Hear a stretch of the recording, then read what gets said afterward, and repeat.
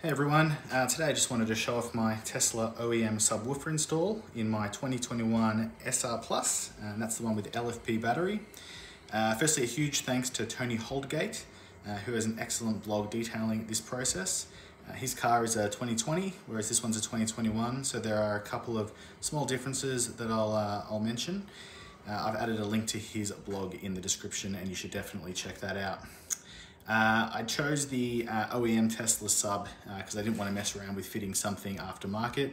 Uh, I know it's not going to be the best sounding or the best value for money, uh, but I, I, like that it's as, as stock as can be. Buying the sub was really easy. I just logged a service request in the Tesla app and said that I wanted to buy it and would be installing it myself. They charged me 382 Australian dollars and it took about a, a week to ship to my house. Uh, for the subwoofer signal, there are no uh, RCA outputs on in the in the Model 3, um, so I've had to tap into the front door woofer. That's the one down there. Um, I actually already have the Hansshow DIY kit installed, uh, and that's the, the kit that uh, enables uh, that speaker there and that one there. Um, so the colors uh, for tapping down here uh, are a little different in the 2021 version. This took me a little while to, to find out and to verify. Uh, you're looking for brown and gray. Um, sorry, it's really hard to film. Um, brown and gray, and they're also in a different position on the connector compared to the 2020 versions. That stumped me for a little bit when I was trying to verify the connections.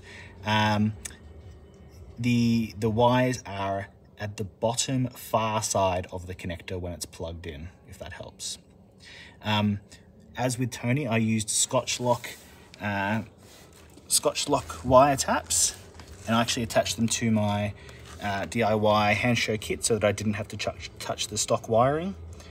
So you can see that there. That's the brown on the left and the grey on the right, I think. Sorry, it's a little hard to see.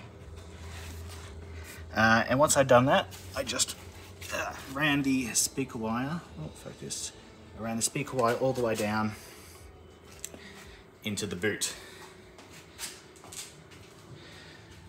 Uh, I'll go into the rear door next. Uh, so underneath the back seat, uh, there's uh, an area called the penthouse, and that has uh, a 12 volt socket, well not socket, uh,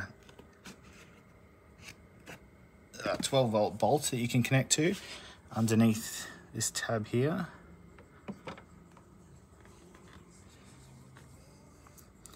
So I've just uh, put a ring terminal on top and um, and put a bolt on top, uh, a nut on top. Something I did do a little differently to Tony was I added an inline fuse. Um, where is it? Just there. Uh, that's a 20 amp fuse, but it probably doesn't really matter as long as it's more than 15 amps. The, uh, the amplifier has a 15 amp um, fuse inbuilt.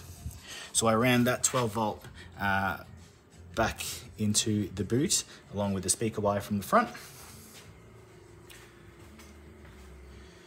Here's where the magic happens. Uh, so behind this uh, right hand side boot wall, um, there's an insert uh, where the sub would normally go. That's it on the floor just there. Um, you can just remove this and throw it out. Um, I tried getting it out with a spanner. That was a real pain in the ass. Took about, I don't know, way longer than I, I should have taken. So a socket set is the way to go there. Um, getting the subwoofer in there can be a little bit annoying. Um, it looks like there's plenty of room in there and there is, but it's an awkward shape. Uh, so I found it easiest to kind of push it um, back first uh, and twist it as you go in. Um, oh, as some of you might have seen, I uh, ended up disconnecting a uh, stock ring terminal, um, which I've just attached back onto the car, just there if you can see, and that's all fine. Uh, onto the amp, uh, the amplifier is this one. It's a KT, it's an Alpine KTP 445U. It's a four channel amplifier with 45 watts per channel uh, and it's bridgeable to 90 watts uh, for two channels. Uh, if you're familiar with car audio, you might be wondering why this amp. It's a bit of a weird choice for a subwoofer. Uh, it's normally meant for kind of regular cabin speakers. Uh, there's a few good reasons for why this was a, a good choice. Um, so firstly, I guess the, the subwoofer, uh, it has two voice coils in it.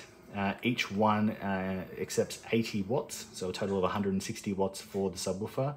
Uh, bridging this amp to two channels gives 90 watts per channel, so it's quite a good match uh, for power. Um, also, the amp has speaker level uh, turning on, uh, so there's no need to run a remote wire anywhere, a remote on wire. Uh, also, I've read on the internet that some bigger uh, mono amps can cause issues with the Tesla 12 volt system. This amp is known to work fine, so that's why I went with it. Um, you might also be wondering why I've only tapped the driver's side woofer uh, and not the passenger side as well. Uh, I did have some reservations about doing this, um, but I couldn't figure out a way to connect both right and left woofers uh, to this amp.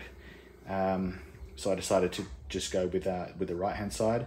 Uh, I did some research and apparently uh, in music all the bass notes are recorded in mono anyway, so it shouldn't be a problem.